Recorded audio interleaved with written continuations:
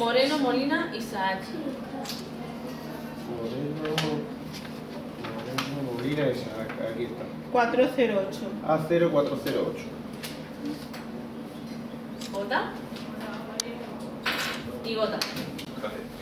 Y seguimos ahora con el secretario general de Podemos en Abarán, Isaac Moreno. Isaac, muy buenos días. Buenos días. Bueno, cuéntame, eh, ¿qué tal está- estás llevando el día de hoy? Pues muy bien, la verdad es que nosotros estamos muy contentos porque estamos viendo que la participación está subiendo este año, estamos viendo que la gente parece que llega a votar con más ilusión. Nosotros estamos eh, encantadísimos de estar aquí, es decir, nacimos para esto, para este día.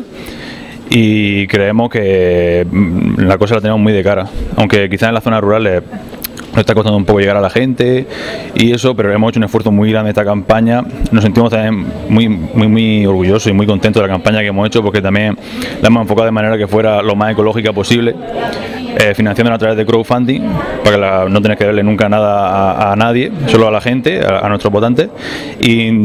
Todo lo que hemos podido hacer lo hemos hecho de manera ecológica, de manera reciclada y todo lo que haya sobrado de la campaña también se va a reciclar para que la huella de carbono de nuestro círculo en, la campaña en Abarán sea cero o lo más cercana a cero posible.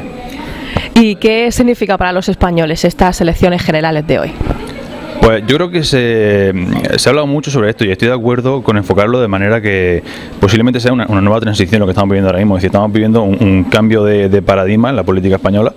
Creo que eso queda clarísimo, que la irrupción de los nuevos partidos, cuando apareció Podemos, también se vio como muchos partidos tradicionales cogían términos y empezaban a, a moverse de manera un poco más asamblearia, juntarse más con la gente. Y nosotros nos sentimos contentísimos de haber hecho eso, de haber generado ese cambio y también creemos que mm, la gente es consciente de que con antiguas fórmulas no consigue nuevos resultados, que, que el cambio es necesario y ya queda un paso adelante. Y estas elecciones creo que son importantísimas. Posiblemente eh, yo no viví las de los años 70, final de los años 70, pero mm, creo que posiblemente sean las más importantes de aquella época.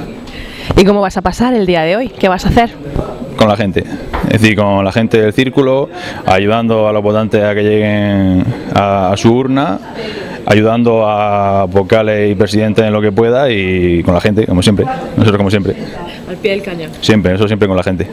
Bueno, pues te agradecemos que nos hayas atendido y que pases muy buen día. A vosotros muchas gracias.